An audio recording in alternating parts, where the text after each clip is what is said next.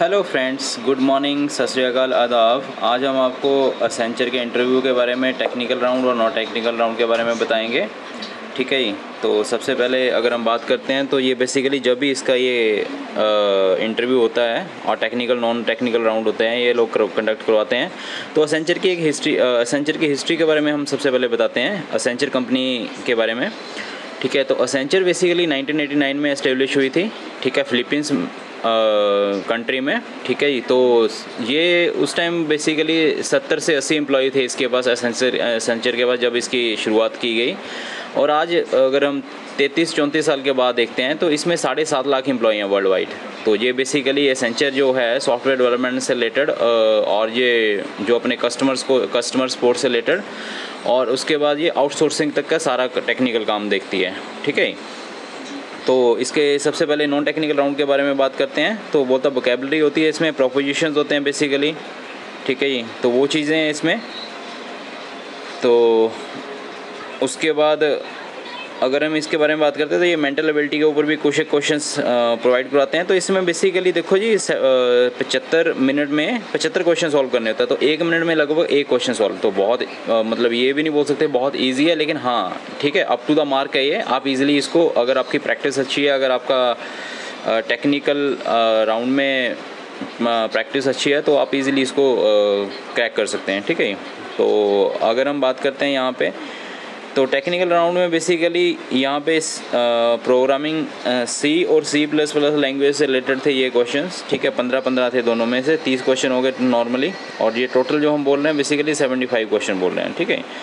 तो अगर हम बात करते हैं यहाँ पे तो रिटर्न टेस्ट जो है H R interview plus H R interview plus technical interview ठीक है तो एच आर लेवल पे तो क्वेश्चन उन्होंने अपने लेवल पे पूछने होते हैं, लेकिन टेक्निकल इंटरव्यू में वो टेक्निकल क्वेश्चन पूछते हैं, ठीक है? तो एप्टीट्यूड में बात करते हैं तो ये क्वांटिटेटिव एप्टीट्यूड आ गया आपके पास। देखो, सबसे पहले तो एनालिटिकल स्किल्स ठीक है जी पंद्रह क्वेश्चन उसके बाद क्वान्टिटेटिव एप्टीट्यूड दस क्वेश्चन उसके बाद मेंटल एबिलिटी के दस क्वेश्चन तो ये पैंतीस क्वेश्चन यहाँ पे हो गए। और जो टेक्निकल राउंड में है, ये इनके बीस बीस क्वेश्चन है, ठीक है जी? और उसके बाद यहाँ पे बीस क्वेश्चन है सी लैंग्वेज के और 20 क्वेश्चन है सी प्लस प्लस के, ठीक है? जो 40 क्वेश्चन ये हो गए, लगभग 75 क्वेश्चन हो गए यहाँ पे। तो बोलते हैं एप्टीट्यूड के लिए आप basically R S Aggarwal follow कर सकते हैं, ठीक है? एनफ है इस टेक्निकल राउंड को क्रैक करने के लिए और R S Aggarwal basically India में जो भी टेस्ट कंडक्ट होते हैं और जो टेक्निकल राउंड बोलते हैं, उनको मैक्सिमम ये कवर कर देती है आर एस अग्रवाल ठीक है? तो जब हम सी के बारे में बात करते हैं तो ये बोलते हैं जो सी के बेसिक क्वेश्चंस हैं, उनमें ही ये आप इजीली उनको क्रैक कर सकते हैं, ठीक है? और जब सी सी प्लस प्लस के बारे में बात करते हैं तो अब सी प्लस प्लस के बारे में बात करें हम तो ये सबसे पहले पॉलीमॉर्फिज्म क्या होता है इनहेरिटेंस क्या होता है वर्चुअल फ़ंक्शंस क्या होते हैं, और कंस्ट्रक्चर्स क्या होते हैं, ठीक है? तो ये इंपॉर्टेंट टॉपिक्स है, इसमें से मैक्सिमम क्वेश्चन कवर होते हैं जब इंटरव्यू राउंड होते हैं इनके। ठीक है अब जो सी लैंग्वेज है सी लैंग्वेज में भी कुछ टॉपिक हैं जो आप इजीली कवर कर सकते हैं, ठीक है? मतलब उसमें आप ये है कि अगर आपने ये टॉपिक कवर कर लिए तो मोस्ट ऑफ़ द जो टेक्निकल राउंड होंगे आपके, ठीक है, वो इसमें कवर हो जाएँगे। जैसे वेरिएबल्स वाला टॉपिक है पॉइंटर्स वाला टॉपिक है स्ट्रक्चर्स वाला टॉपिक है, ठीक है? तो आप इजीली कर सकते हैं इसको। और उसके बारे में बात करते हैं, बोलते हैं जब एच इंटरव्यू के बारे में बात करते हैं ना, जब एचआर लेवल का इंटरव्यू होता है तो उससे पहले, सबसे पहले तो इंटरव्यू इंट्रोडक्शन ही पूछते हैं आपकी कि आप अपने बारे में बताओ, ठीक है? उसके बाद आपकी स्ट्रेंथ एंड वीकनेसेस क्या है? आपको पूरा पता होना चाहिए इसके बारे में, ठीक है? पास्ट में आपने क्या अचीव किया है, ठीक है? जो भी आपके प्रोजेक्ट्स हैं, जो आपने रिसेंट प्रोजेक्ट किए हैं जहाँ कुछ और पर्टिकुलर एक्स्ट्रा ऑर्डनरी हो सकता है कि हाँ जी, आपने अपने लेवल पर कुछ नई स्टडीज़ की हो।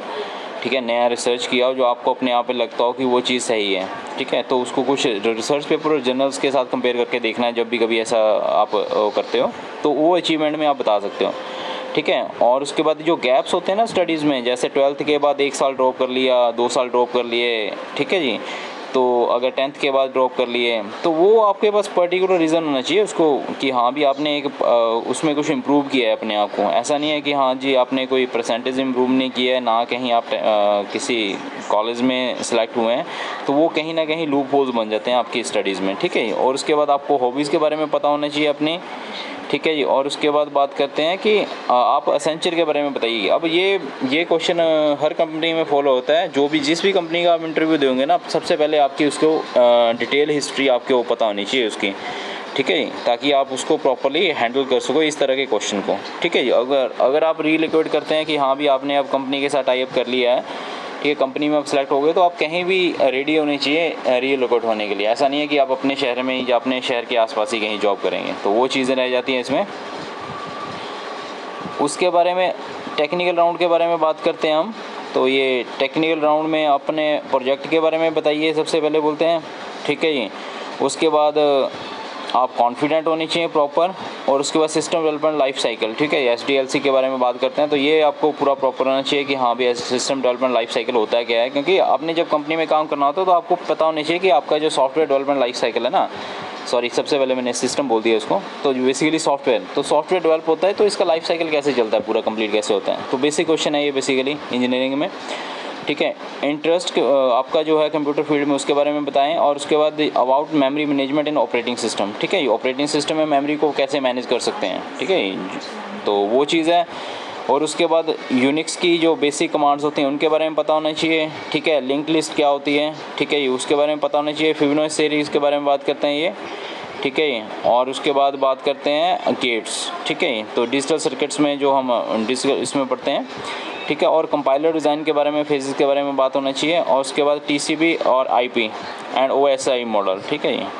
तो ये बेसिकली हम वही है जो इंटरनेट में यूज़ करते हैं transfer control protocol and internet protocol ठीक है जी? और उसके बाद उप्स के कॉन्सेप्ट के बारे में बात करते हैं तो ये वाला इसमें कवर होता है। थैंक यू सो मच अगर गाइज़ वीडियो अच्छी लगे तो लाइक कीजिए सब्सक्राइब कीजिए। Thank you so much God bless you